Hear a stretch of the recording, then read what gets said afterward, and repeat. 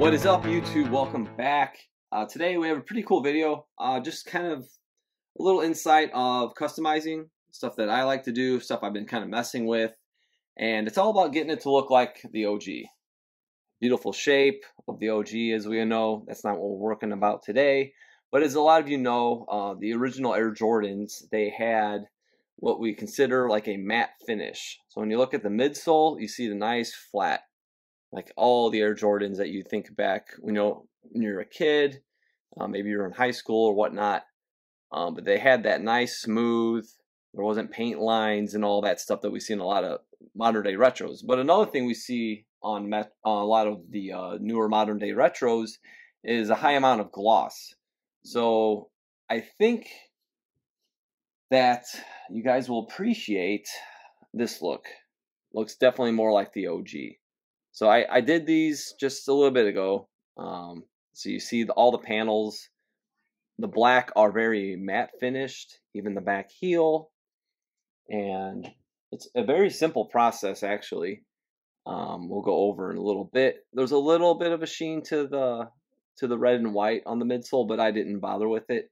But this to show you guys with the OG on the heel how good it really looks. So it's pretty it's pretty spot on. You know, it looks really really well. Um, some paints obviously are more glossy and shinier than others. Um, I really really like how this turned out.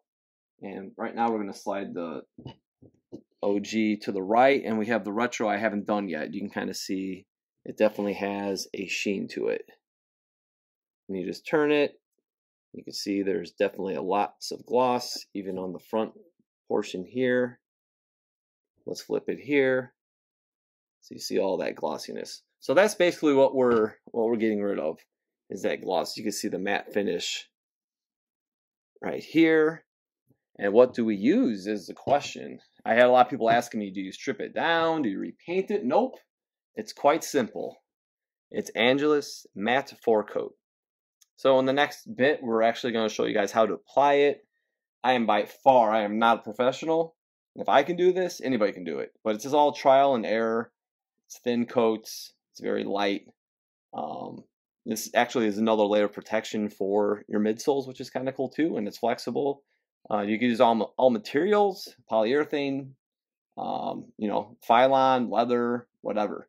Um, so plastics. So it's pretty, it's pretty amazing stuff. Uh, some other stuff I've seen that I've used, it actually leaves a little bit more of a, a sheen to it. And this stuff straight out of the bottle, you don't have to mix it with anything. It leaves a nice matte finish, as you guys can see in the dried final product. If I tilt it to you can kind of see. Um, but yeah, I'm really happy with how they turned out. Even like with the OGs and stuff, you'll see little little um, imperfections here and there. Take this for instance, you know, that's on the original. So nothing nothing huge. Um, so yeah, don't beat yourself up and just practice it. And uh, we'll show you guys next how exactly to apply it. All right, here we have the left shoe that we haven't done yet, all the black portions basically. And you'll see the, the, four, the matte four coat. I'm going to basically put the smallest amount, I mean tiny, like you can see on the tip of the brush, there's barely any. So very, very light coat and basically you'll see just small brushes go both directions so you don't see like you know all the lines. And then I kind of touch the corner here. I don't do any tape or nothing you know it's not going to hurt the paint um, but this is basically how I did the other one.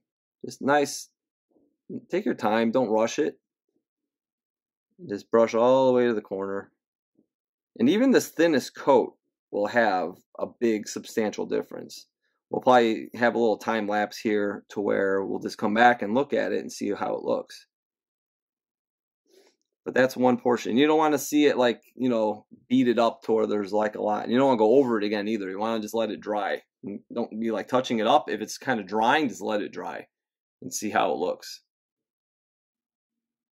So I'm doing the middle portion now, and you can see it looks, you know, just touching it up very little. And if you get too much on your brush, you can always dab it with a paper towel. Um, you don't want to make too many streaks, like I said, if it's drying, but It's going to look wet. As long as it's thin, it should look pretty good. As you can see, look at the bottom here. It's starting to dry already. There's a few little light spots. That looks wet, but we'll see how that looks in another few minutes. As you can see, it kind of like beads up a little bit. So just kind of brush back and forth.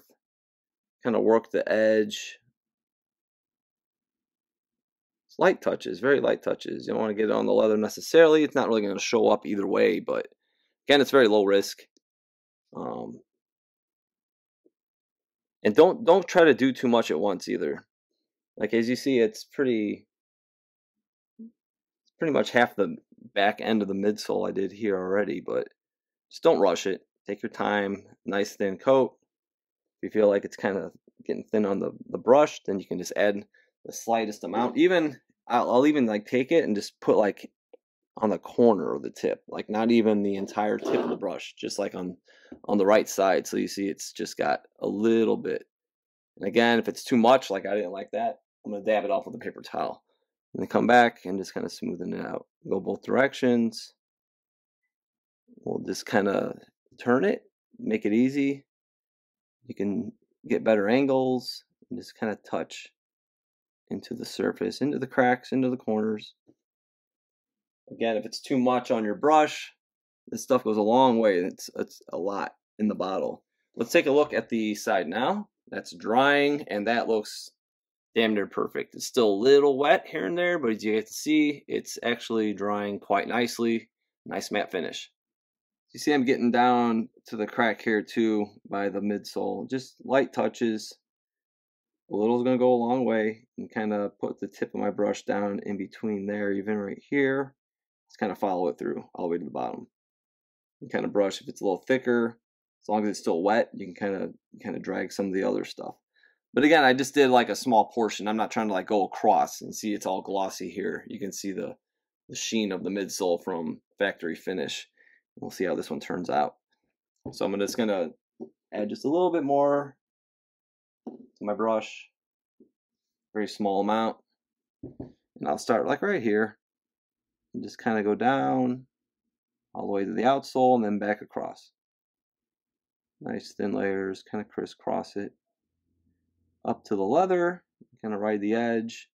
You don't want to start off right on the edge of the leather because you might you might kind of build it up onto it, if that makes sense. So as I'm going through the middle, now you see I'm touching to the top edge and then to the edges at the bottom. So I'm taking my time, working my way toward the toe box. And just always look for, if you kind of lose your spot, just look where it actually looks wet, not the sheen. Once it starts drying again, don't go over it. As you can see, I can just kind of touch the smallest spot. And there's probably just enough. So like when you have these tight little areas, you can just kind of dab it. You're not going to see anything really affecting paintbrush marks. We'll let this dry and then we'll check out how it looks in a few minutes. All right, we're letting the back one dry. We finished that up. Here's the one I did earlier today. Uh, so again, it's Matte 4 Coat by Angelus. We will leave a link in the uh, description to make it easy for you guys. And I definitely recommend getting a decent paintbrush. By all means, don't go spend $60 on a brush like your Picasso, but this is A-OK. This is Blick, Studio, Synthetic, Bright. I don't even know what number. Uh, depends what you what you're doing, but I have a couple different brushes, and this is one of my my thinner ones. Um, so yeah, just a really quick recap. We did all the black portions. We did not do the red. It's pretty matte. I like how it looks. So this basically is nice and flat black, as you guys can see, even down to the heel. Um, if you need more than one coat, if you feel like, oh, this doesn't look right, I'm going to do another coat. And just go over it and go over it with a thin amount. Don't go crazy. Don't panic. Just go over it with a thin amount. Uh, you probably could take like a high number, like 2500, 3000 grit sandpaper and smoothing it out. You know, just take that top surface off. If you really wanted to, you know, just try to redo it. Um, that should be fine as well. Um, but again, thin coats, it looks great, you know. Now look at the OG. It's it's pretty spot on. You know, it looks really good. Just remember, you know, in those early shots, how glossy it was. this looks great now, you know. The OG is nice and matte finished. And once again, our retro here, nice matte finish. Again, this isn't dried all the way. It probably needs a little more time, but it looks really good. I'm very happy with the results. And uh, any glossy midsole paint, I'm just going to zap away from now on. I uh, hope you guys enjoy this video. Uh, we will have some more stuff coming soon.